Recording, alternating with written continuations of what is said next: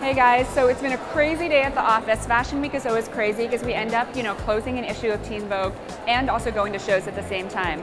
So we just arrived at TIBI backstage and you know, they're just beginning to kind of set things up and I'm going to interview hair, makeup, nail. I'm so excited and I'm also staying for the show. So let's kind of hang out, let's walk around and we'll see what's going on.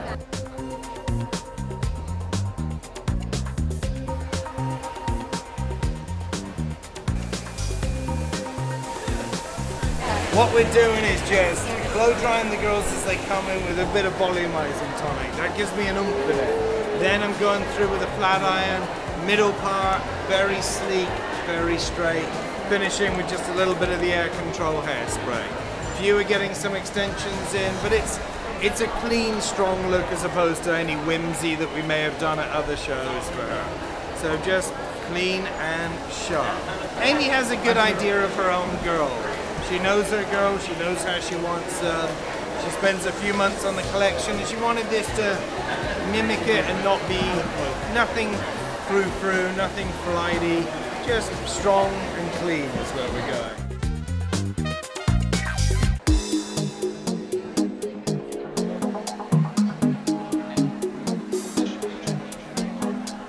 I'm here with Kimberly Soane with Bobbi Brown and it is a complete madhouse, a complete zoo here.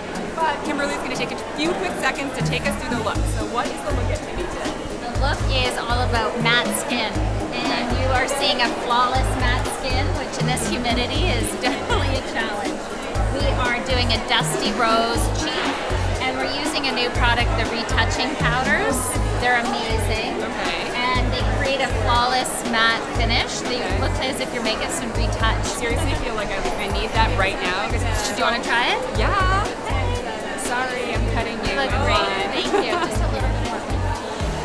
So, what are like matte? What's matte skin 101? Because right now in this humidity, I'm, I'm, my skin is kind of dying a little bit. You want to start with an oil-free moisturizer. Okay. Don't go for any liquid foundation at all. Should I close my eyes? Sure. And we are going to gently dust Okay. this powder, which doesn't even look like powder, and it is going to make you look like we retouched you in a magazine.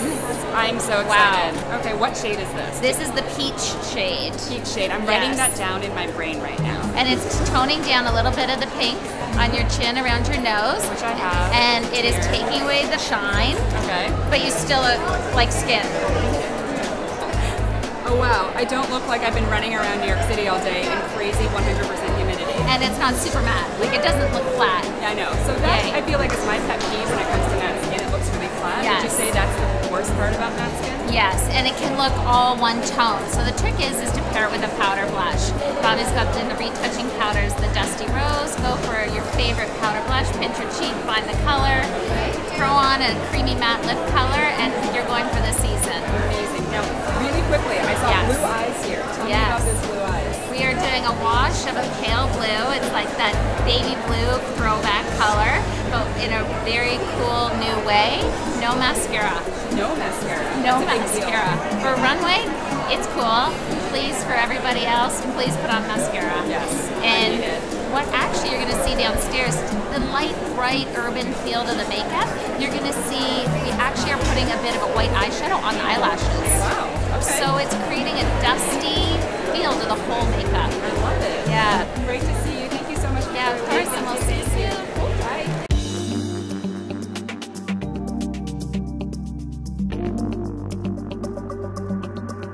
We're backstage right now with Amy from TIBI. I am the biggest fan of your line. Thank Tell us what we can expect backstage and also like front of house. Well, backstage will be a little crazy.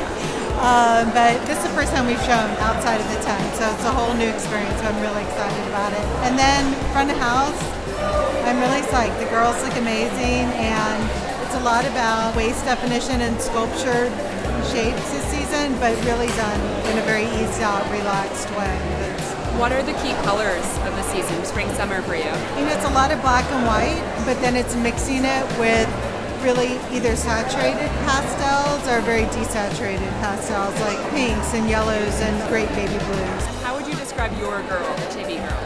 I think she's a really cool girl whose balances being very relaxed and feminine, but you know, really just uh, eased out and cool at the same time. Awesome. Well, thank you so much. I can't wait to see the clothes on the runway. I'm your like biggest fan, so Thank you. thank you so much for taking the time. Thanks. Thanks. As you can see, everyone's streaming into the show. It's already packed in there, so I can't wait to sit down, rest my feet, and watch the show finally. I'm just looking for things that can be translated into the pages of Teen Vogue. So, you know, we're looking for kind of sweeping trends, overarching trends. So for instance, we might notice that the wet look for hair is really popular.